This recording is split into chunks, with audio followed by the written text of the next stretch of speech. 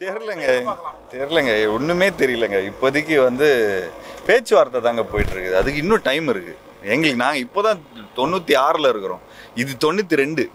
So தொண்ணூற்றி ஆறுலாம் முடிஞ்சு அதுக்கப்புறம் வரணும் போது எப்படி இருந்தாலும் டைம் ஆகிடும் அது ட- ஏதோ ஒரு நீங்கள் ப்ரெஸ்ஸில் கேட்கறதுனால அந்த பேச்சுவார்த்தைகள் போயிட்டு இருக்குன்னு தான் சொல்கிறேன் சரி ஓகே சார் ரெண்டு படம் வருது இல்லை சார் வாரிசு துணிவு ரெண்டு படத்துல எது சார் நீங்க ஃபர்ஸ்ட் பார்ப்பீங்க?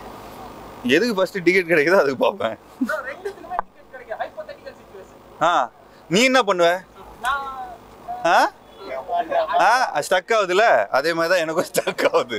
பா ரெண்டு பேரும் இண்டஸ்ட்ரியில் இருக்கிறவங்க தான்ப்பா ரெண்டு பேரும் நாங்கள் பார்த்து வளர்ந்துருக்குறோம். நீ இந்த கேள்வி கேட்பேன் தான் இந்த கேள்வி நான் பதில் சொல்ல மாட்டேன். சில பேர்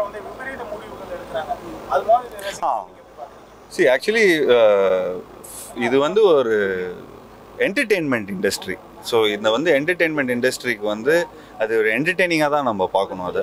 அது ரொம்ப சீரியஸாக எடுத்துக்கிட்டு நீங்கள் சொல்கிற மாதிரி ரசிகர்கள்லாம் வந்து ரொம்ப அந்த முடிவுலாம் எடுக்கக்கூடாதுன்னு தான் சொல்கிறேன் சினிமா இது வந்து பே பேசிக்கான ஒரு சினிமா.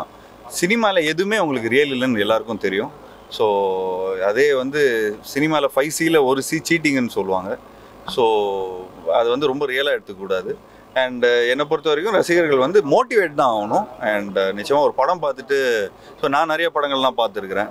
இப்போ ராக்கி அப்படிங்கிற ஒரு படம் ஐ ஆஃப் த டைகர் இந்த மாதிரி நிறைய விஷயங்கள் பார்க்கும்போது ஒரு படம் பார்த்து இன்ஸ்பயர் ஆக தான் செஞ்சுருக்கிறோம். ஸோ ரசிகர்கள் வந்து ஒரு படம் பார்த்து இன்ஸ்பயர் தான் ஆகணும். சரிங்களா?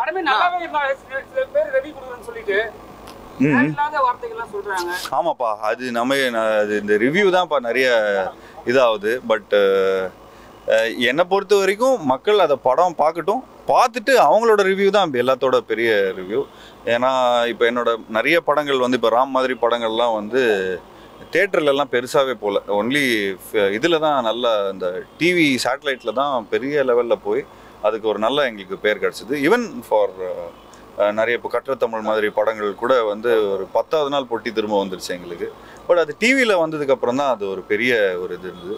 ஸோ ஃபஸ்ட் டைம் அது அந்த கற்றத்தமிழோ இதில் நாம் இந்த மாதிரி படம்லாம் பார்க்கும்போது அது கொஞ்சம் நாட் த ரெகுலர் ஸ்டைலாக இருக்கும்போது அது கொஞ்சம் டைம் ஆகும்.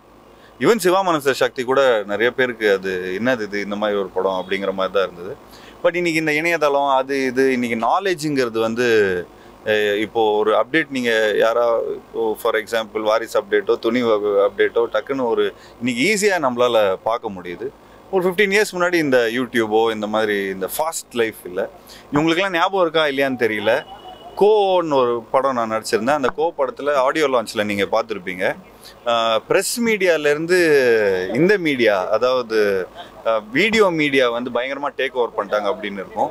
வீடியோ மீடியாலேருந்து இப்போ யூடியூப் டேக் ஓவர் பண்ண மாதிரி ஆயிடுச்சு. நீங்கள் சொன்ன மாதிரி அந்த ரிவ்யூஸ் வந்து உங்களை விட அங்கே பயங்கரமாக இன்ஃப்ளூயன்ஸ் ஆகுறாங்கங்கிற மாதிரி தோணுது.